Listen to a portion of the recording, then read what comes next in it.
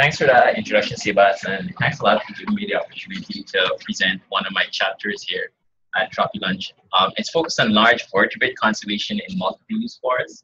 And I'm defining multiple-use forests as forests where there's any kind of extractive activities going on. And why I really want to present to the TropiLunch audience is because I think there, there are policy implications for study. And I think it's things we've known already, but it's totally kind of coalescing of clear policy. I'm really curious about your feedback in terms of how to communicate the results from this research to government officials and the kind of civil society NGOs that are driving this kind of policy conservation, specifically for large vertebrates.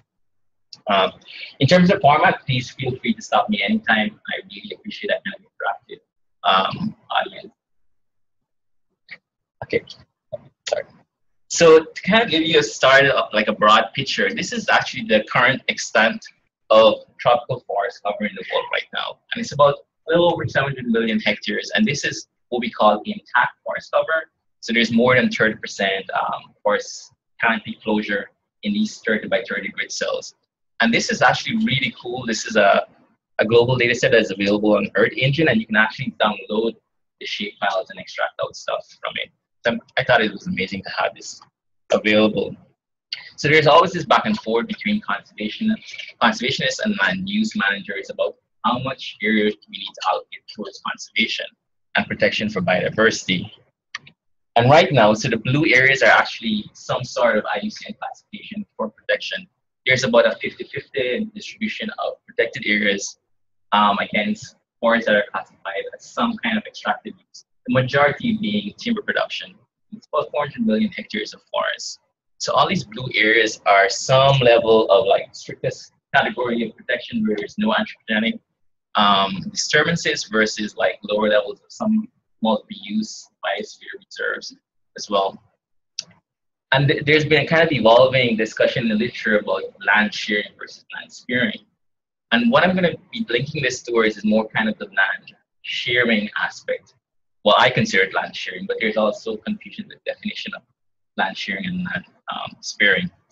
Because I work primarily in logged forests, um, in managed forests, where there's timber extraction ongoing. And there have been more and more studies that have kind of been co coalescing in terms of what exactly are the impacts of logging on biodiversity in the tropics. So this was the most recent meta-analysis that was done that show that as logging intensity increases, you start losing more biodiversity. I think one of the kind of pivotal points along this axis of um, logging intensity is about 38 cubic meters per hectare, which is in the neotropics is about a little over 12 to 16 trees per hectare.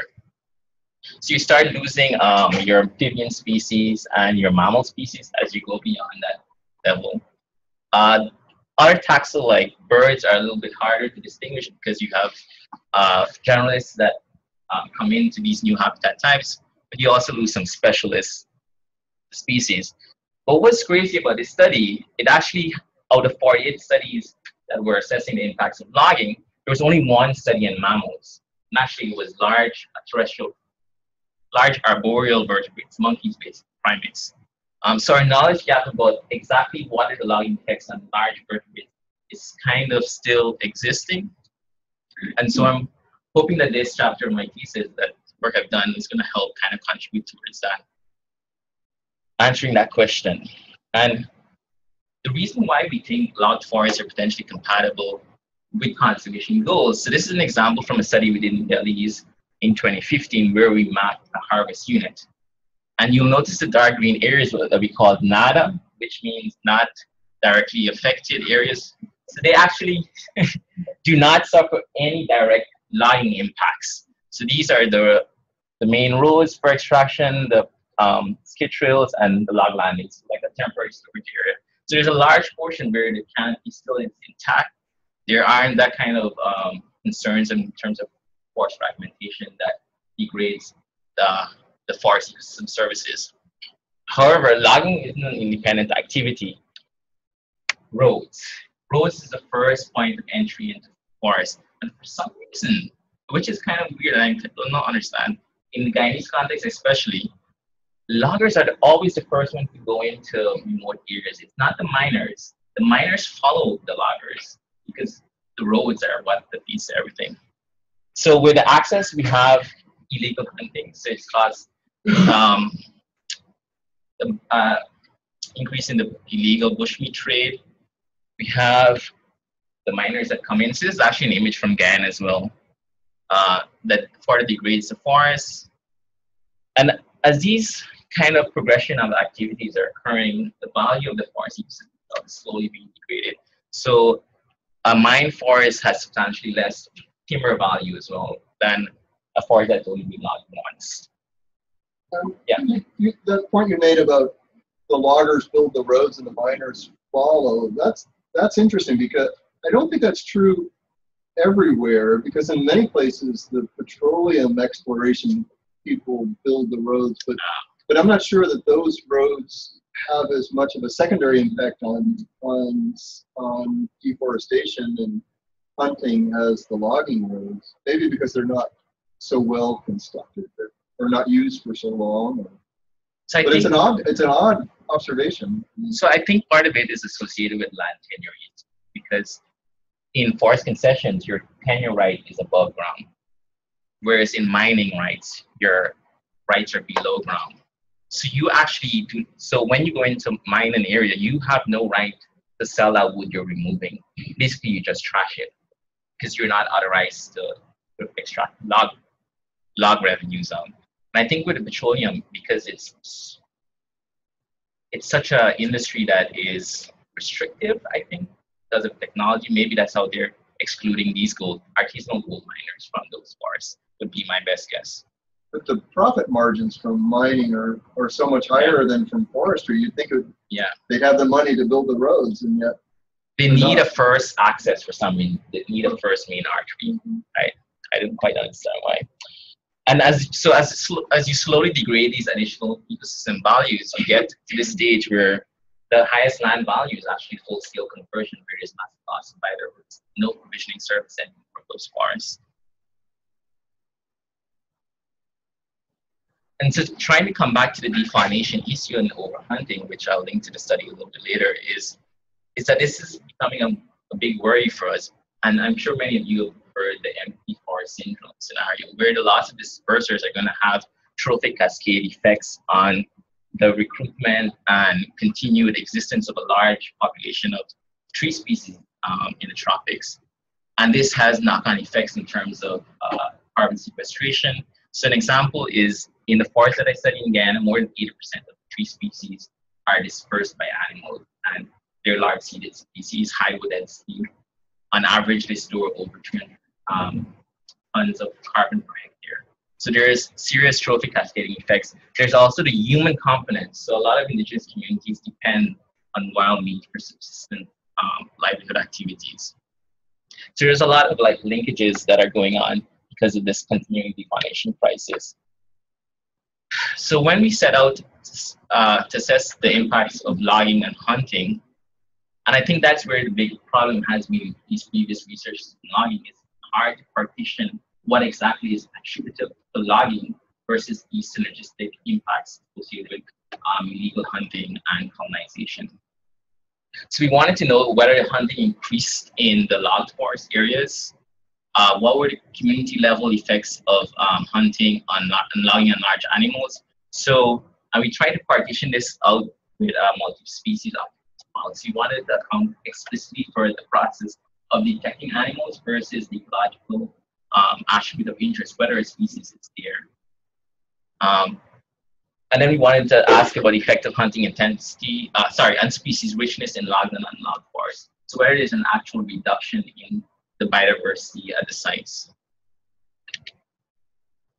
So coming back to this kind of uh, forest global forest distribution, um, just in case you don't know, this is Guyana, northern South America, and it's part of this special, unique geographic area in northern Amazon that's actually distinct from the central and east and west Amazon. It's called the Guyana Shield region. And it includes Guyana, Suriname, um, French Guiana, and parts of Venezuela and Colombia, and uh, northern Brazil. And so I worked for a long time in this Sustainable Use Reserve called the International Center. that's located in the center of Guyana, and it was established after the Rio Summit. Uh, it was all these lofty goals of showing sustainable use of tropical forests for development, um, and it's ongoing. And there's been successes and lots of lessons learned. Um, so this is the boundary of Iwokrama, and it's about 300,000 hectares of forest. It's been zoned into what we call uh, wilderness reserves, so the WPs, and areas that are called sustainable utilization areas. And within this reserve itself, there's a titled indigenous community um, that's located within this, this protected, kind of quasi-protected area. So this zoning process ensure that every biological, unique biological forest type or some kind of cultural attribute is representative in this wilderness reserve where there are no anthropogenic disturbances except for traditional indigenous activities. And in the SUA, there's extractive industries. So there's timber, non-timber forest products extraction, tourism-based activities. Um, yeah. What's the other part that's not labeled? Uh, this, sorry, this, this is the WP. So, the wilderness preserve. I, just, I don't know why I didn't come up with a label. And, and one of the interesting about this reserve is actually it suffers from a road that bisects it in the middle. And this is the part of the Inter-American Highway that eventually that connects to Brazil and is going to be eventually paved as well. However, Iwokrama has a unique ability that it controls, it has two checkpoints that controls access in and out of the reserve. So if you enter the reserve, there's a ranger station that calls ahead and tells them when to expect you. So if you're not on time, then patrols to check that you're not engaged in any kind of illegal hunting activities. Um, so because this is a sustainable use reserve, there have been lots, lots of investment in the long-term research work. In 2007 to 2011, part of a broader livelihood study in the Amazon with the Makushi tribe of um, northern Brazil and southern Guyana, they were access assessing subsistence livelihood of bushmeat trade. So we have spatial information of uh, the hunting sites that this community, um, basically sites that community is hunted in across three-year period. So we have the species that was hunted, how many species, uh, it was spatially mapped onto the map. Um, so we used this information to kind of build our first base map. So we wanted to uh, quantify hunting across this multiple use landscape. So we created a 400 meter by 400 meter grid cells and used the observed hunt across this 21 month survey period. And by the way, all of this information was collected by indigenous people, the community um, parabiologists. And so we quantified uh, basically what was the predictors of hunting intensity across the landscape. And it turned out that distance from the village was the strongest indicator of your hunting intensity. And we tested things like river, distance to river, um, distance to the nearest main artery of roads. But in the end, this was the best fit model. So this is what we come up with. So we come up with a spatial kind of mapping of where the hotspots of hunting is happening. So you can see the community is located here. It likes to hunt along the river primarily, which makes sense. It's a riverine community that's using the, the main river artery to access hunt sites. And as you go away from the village, your hunt intensity decreases. So the majority of the hunting is occurring within 10 kilometers of the village. And that's kind of the knowledge that we know of um, which is really good to find.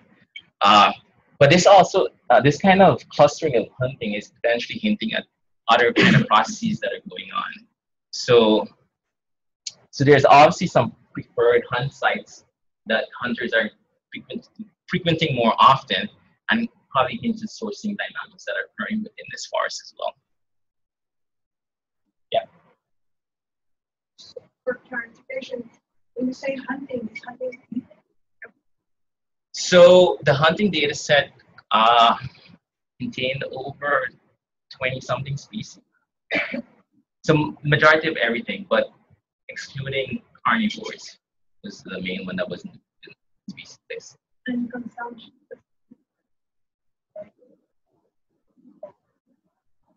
everything was land, um, so we don't quantify what was used or what was um, sold. We're just quantifying the hunting extraction across the landscape. Yeah, across the landscape. So, and then we fused this with a camera trap study that we were curious about how is the large vertebrates being affected by the logging.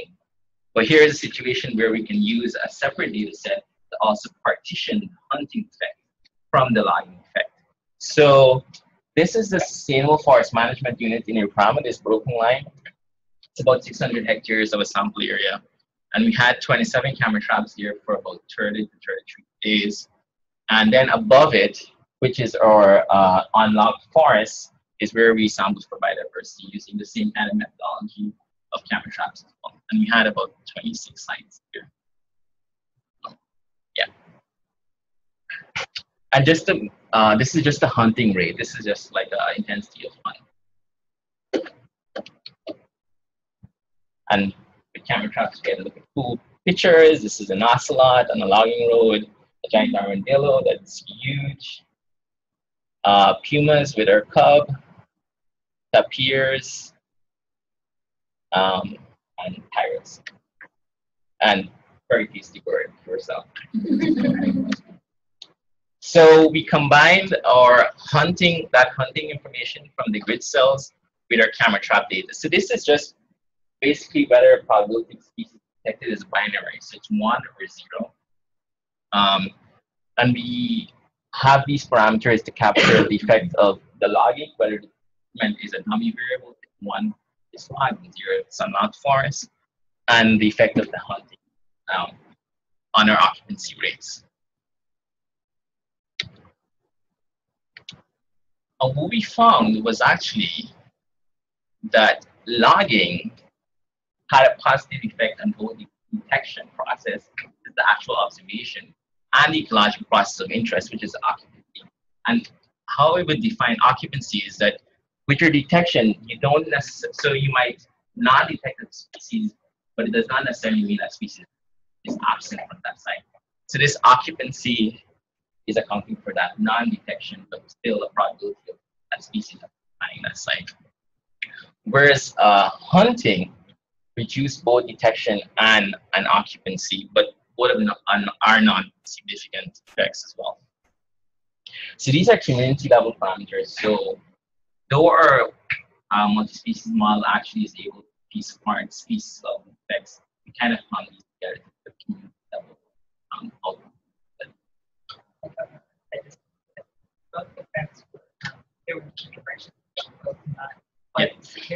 Mm -hmm. So how you can interpret this is that if the lines cross zero, it's non-significant. So the wide bars are the 95% credible intervals and the kind of gray thicker bars are. Whereas we found that hunting, as hunting rate increased, it led to over 2% decline in um, your probability of finding that species at the site. So this is, this is all the species we found. There are about 17 large terrestrial vertebrates and I should have said this, when I say large terrestrial vertebrates, I mean they're above one kg. Things like a, I don't know, an agouti, it's like five, six kg, and a PHR sense.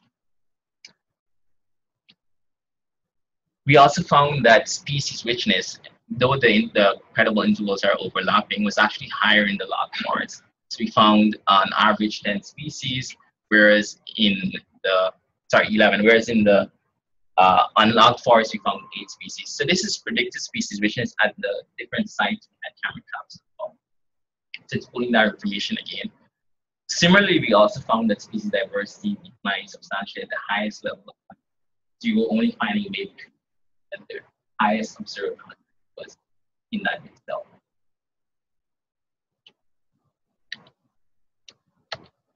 Right. So the kind of just to get back to the broader context of how what was being implemented in. So the Iwokrama site implements uh, impact logging, it's low intensity logging that's occurring with trained fellers, um, trained personnel. It was certified, so it had FSC certification as responsibly managed, especially during the study period. Um, and it was able to control non-sanctioned activities. So it had these co-management protocols with the communities that included agricultural expansion of lands, um, hunting regulations, uh, what else? And was able to control access in and outside of the reserve as well. The other thing that I personally I felt was very important for this positive biodiversity outcome was this idea of the zonation of the forest. So you had these production landscapes of around here where we're being logged, but it's nested within this broader matrix of strictly protected areas, um, as well as well-managed areas. So you can have an opportunity of, it, even though there's depletion or impacts of logging on vertebrates here, there's still kind of refugees in that broader landscape matrix for them to go away and then turn back. The other big thing um, that Iwokrama has perpetually being involved in since its inception is this bringing the communities into the process as well. So it's been ongoing education and research so the communities actually feel part of, actually they own it. They own this process. So they're so they're also doing their own monitoring interventions to stop illegal activity. So it's many eyes.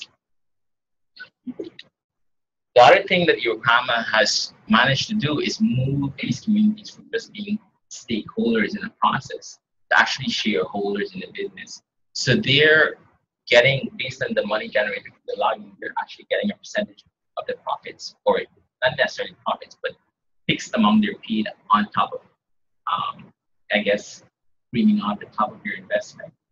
Like, what's it called in stock markets when you get a turn? Dividends. So there's basically a dividend. So in this case, we have uh, the business part of which is the it's a tripartite um, partnership that's occurring with this logging. So it's a business entity that actually has the capital and do the logging. Iwokrama is a scientific body that has rights and kind of scientific knowledge to implement these um, improved logging methods. Whereas the communities have traditionally owned this forest land, they have this local ecological knowledge of like where are the most productive forest lands, um, how our species respond. So, and we call this the three-legged stool, and actually was this concept is owned or came up from an indigenous leader from from within your forest as well. So, okay. so this are things they're trying to move towards too. The other thing is the access of closing these managed forest units. So you have up to this point in time where, well, where either colonizers and illegal hunters are entering into concession for the depleting the wildlife and biodiversity versus, and you end up with this scenario that I talked about earlier. So you have slow encroachment that is removing biodiversity and services of the forest. Whereas if there's road closure and subsequent restriction and improved management, can potentially maintain that biodiversity value by the next cutting cycle. But there are still like lots of questions as well as what's going to happen beyond the second and third cutting cycle in terms of biodiversity conservation as well. So in terms of the policy recommendations and linking it to what we found is that low intensity logging did not have a negative effect on wildlife. Actually, we found that logging had a positive effect on increase occupancy by 8% and detection by 2%.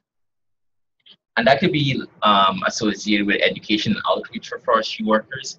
So one of the problems with many logging companies is the of forestry workers. So forestry workers themselves exert a substantial amount on um, wildlife species because of bushmeat hunting. So none of the workers are allowed to hunt. There is that kind of gray area where workers are indigenous and so it can get potential conflict. But Iwokrama manage somehow to minimize that conflict of when there's indigenous workers that they want. It's very separate. The forest zoning to, to create that kind of exclusion sustainable use area versus the wilderness preserve. The third party certifications to high standards of logging.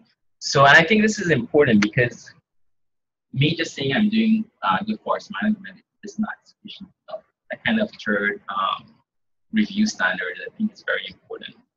And it's basically peer reviewed in kind of academic comparison. The other one is the hunting could potentially degrade wildlife, and I think this hints at where our resources should be going. So even though there was subsistence hunting, there was still a negative effect, though non-significant.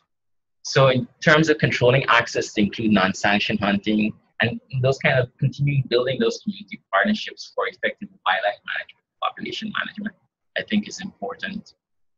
Um, and another thing, think, just thinking beyond this study is we just assess presence and absence, but it had nothing to do with viable population type.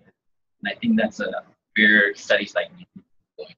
Yeah, the species are still there, but are they viable genetically in terms of long-term population stability as well? Oh. In your opinion, what would explain that? Because you got 80% more, and you, in theory, they're similar sites, right? So why would you explain? How would you explain get more in the places that people are not using? You, you think more? it's a skill of respect, so they don't hunt inside the logging, so they go outside and hunt maybe? So I mean, so yeah, I'll just pull that map up. Oh, yeah. Yeah, that So there could be two things going on here. So this is self-reported. So they're telling us where they're hunting. For an ongoing period of time, Iwokrama has had this policy of we're not hunting in the logged forest. So I think there could be potential confusion for that as indigenous communities who are willing partners in this as kind of interpreting as they shouldn't hunt in the logged forest as well. But there's still there's a still few of hunt uh, there were still hunting episodes in the logged forest, but I suspect there people are deliberately avoiding those forests or they're underreporting those forests, those hunt sites as well. Um, the other thing of why we could why we might have found more protections and occupancy is so logging creates this kind of open, a more open structure of canopy. So you have roads, the la- large uh, carnivores, the jaguars, um, tapirs, and humans love the woods. So that's where most of our detections were, were occurred. Um, so in the logged forest, we had like 18 times more detections of jaguars and pumas than in unlogged forest. So it just could be that the visibility is higher. They're using roads. There could be changes in the food resources. So there were also more insectivorous um, species. So uh, armadillos and coatis in the logged forest as well. So there could be a change in abundance.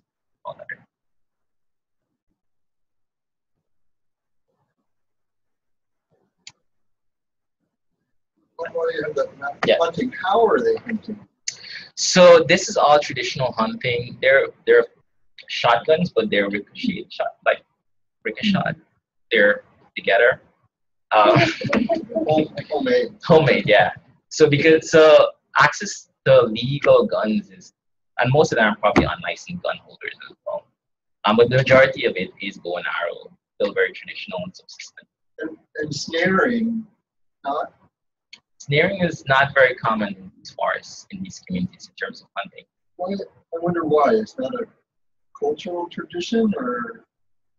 I would say it's not a cultural tradition. I think bow and arrows people are more familiar And are there animals that they uh, they hunt? That prohibition. So there, traditionally, there have been taboos against certain species of against hunting certain species, but those taboos are no longer there. They've been Yeah. So I, I assume that so that they have logging camps mm-hmm. and the workers stay out and logging.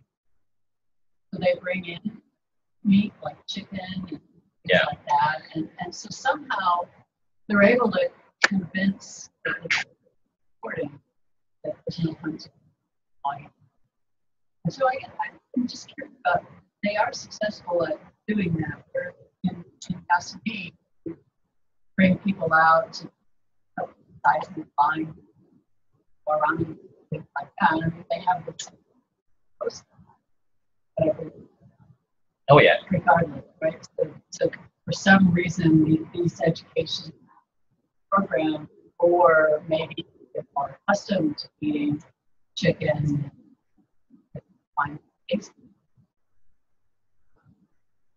I think it's a combination of both. So I've been on forest inventory crews during these months, and eventually we we transitioned to treat as a source of protein.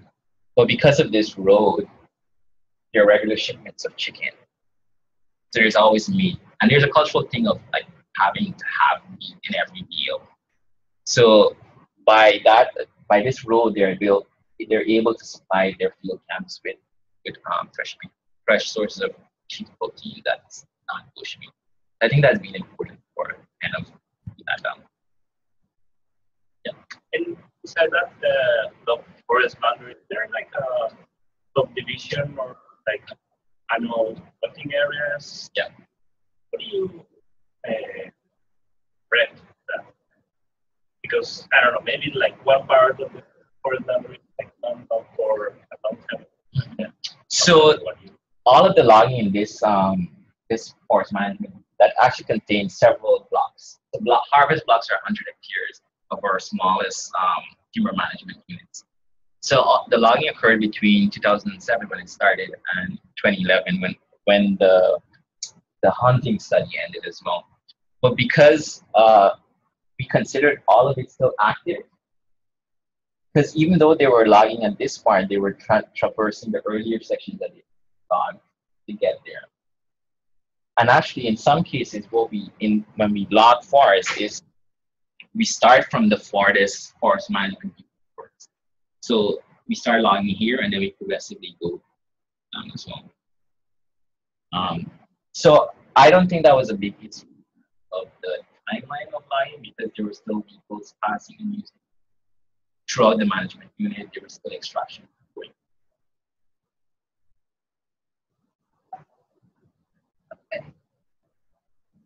That's it.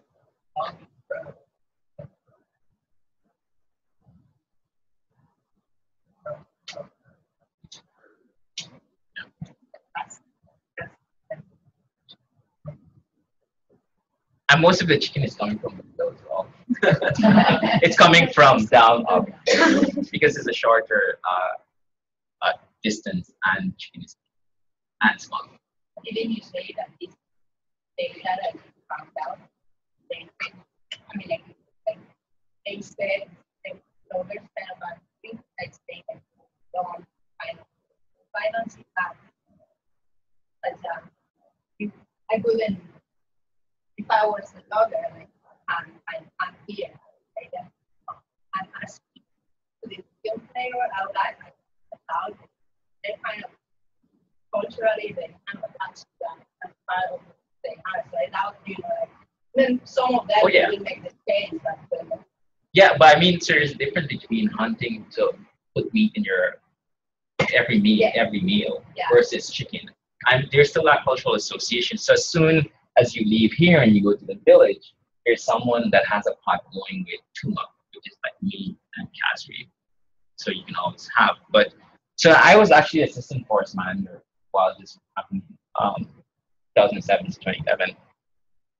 And I'm pretty sure that the hunting, I'm sure there is incidences of hunting by the forestry workers, but it wasn't pervasive because we were constantly present. So part of the agreement that Iwokrama has in the management of forest is we're responsible for monitoring and enforcement.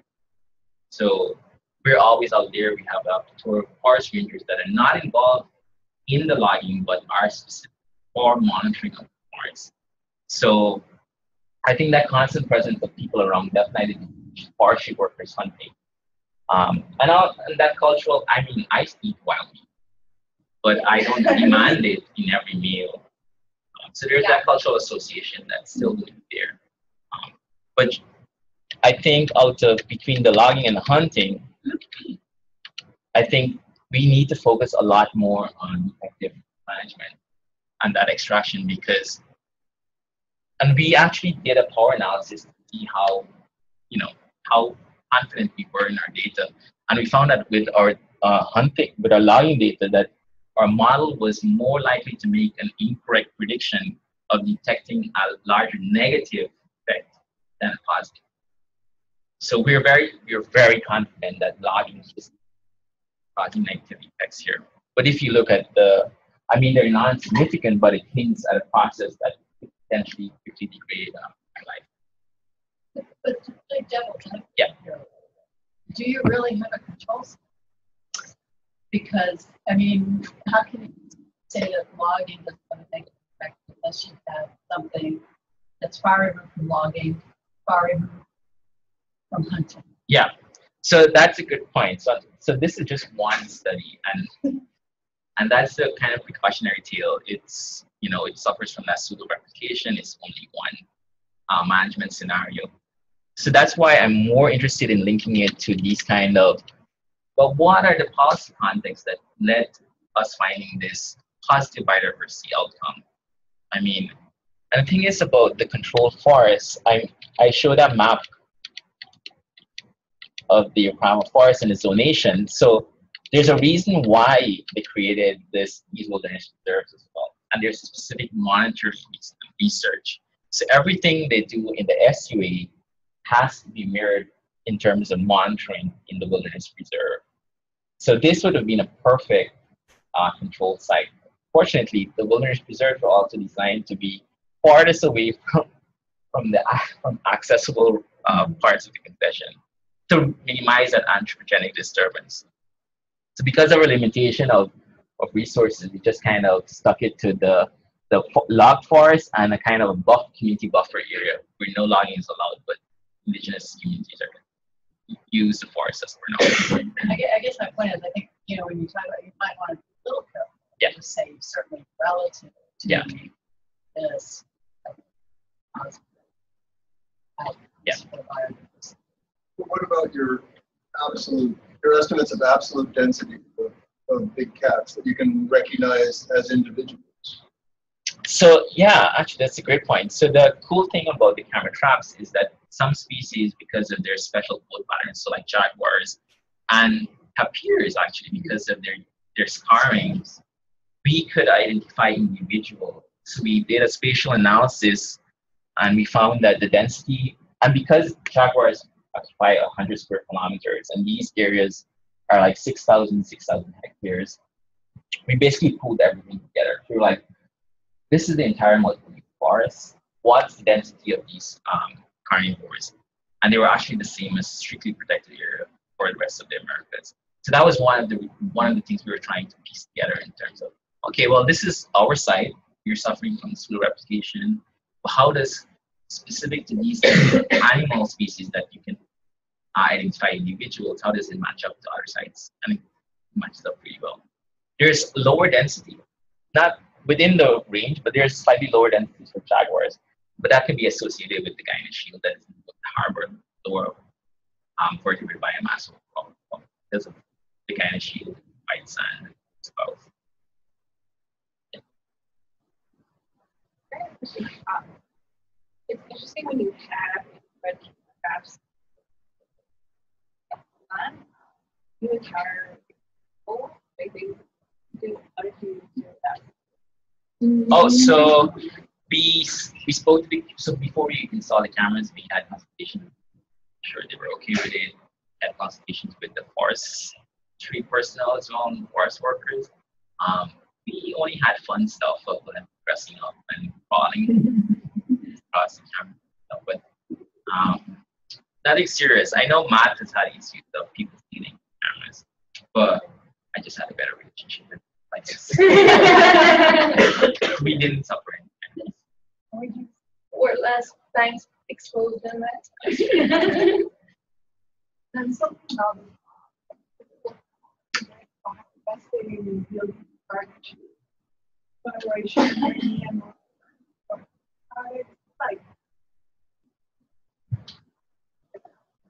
I mean, um, when Iwokrama started, it was flush with uh, GEF, uh, Global Environmental.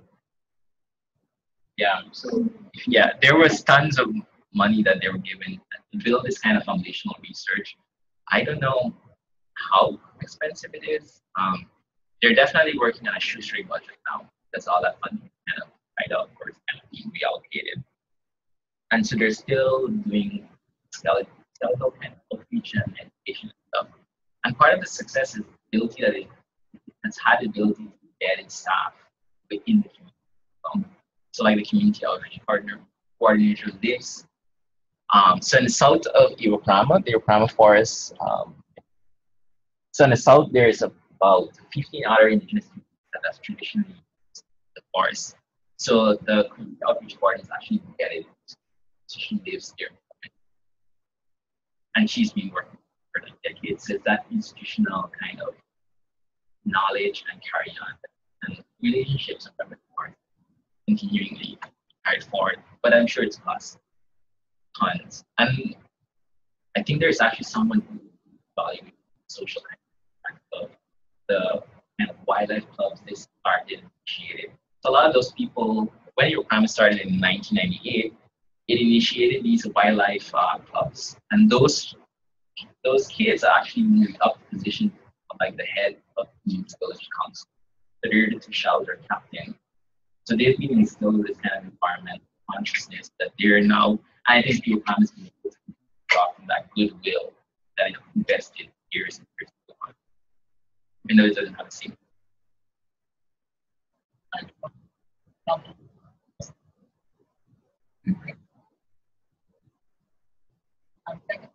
Context.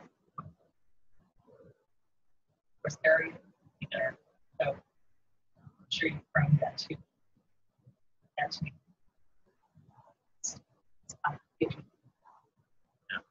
So and so one of the reasons I've been kind of grappling it and even just trying to put together this presentation is how do you present this information and get buy-in? Because for me, this is like a precautionary. There's not necessarily bad outcomes or horrible outcomes that lead from kind of policy intervention.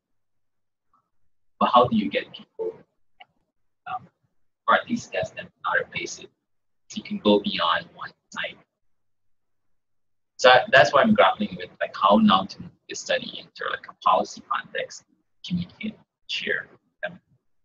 So if you guys have comments or recommendations and how to go about that process, really appreciate it.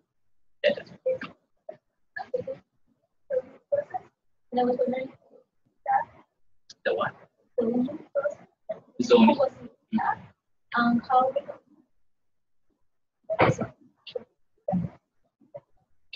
So the zoning um, was done by with the community. So there there were 16 communities that actually claimed forests. So it was done by a combination of uh, cultural and social values, actual biophysical um, space biodiversity, and forest types. That's part of where the big money was spent as well. There was a lot of biophysical mapping at that stage. Um, and it's a well documented zoning process. At the very To follow up on that, you, you said there's a, a bunch of villages that are down South. along the road, Yeah. right? But there's no sustainable use area that looks like very accessible. Are there other things outside of, So they can use everything. They can use that? They can use everything. So they're legally guaranteed use rights and access rights. There's no restriction on indigenous use. There have been um, discussions and consultations to develop uh, things like agricultural expansion because there's a clear like print forest in terms of forest cover laws. So they've managed to spatially plan those in the southern part of the forest actually. So there's actually community with farms and stuff in the, in the um, forest. Um, but yeah, they're complete access to it, no restriction. And that, anyone wanted to make a pilot, there's my story. He's getting some funding and time, either to bring people from working.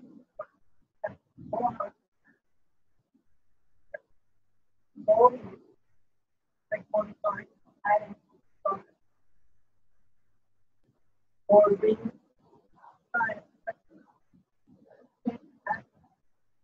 and the of course